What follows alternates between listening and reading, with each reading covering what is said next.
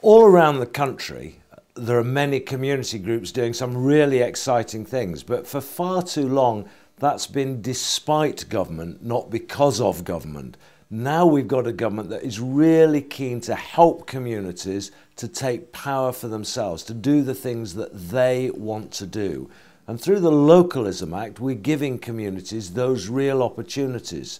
So we've already had, long before this legislation, groups running community shops, community libraries, making things happen.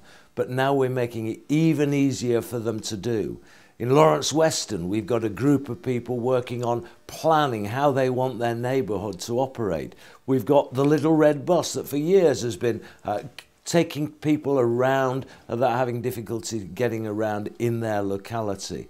But now it's going to be even easier with the new community rights that we've given. And it's not only giving people the right, we're also giving them the support and help with people there to provide support and assistance, advice and guidance. And also, in some cases, there's some money as well. So, at long last, we've got a government that is getting off people's backs and giving them the power to take responsibility and to truly develop what they want in their communities.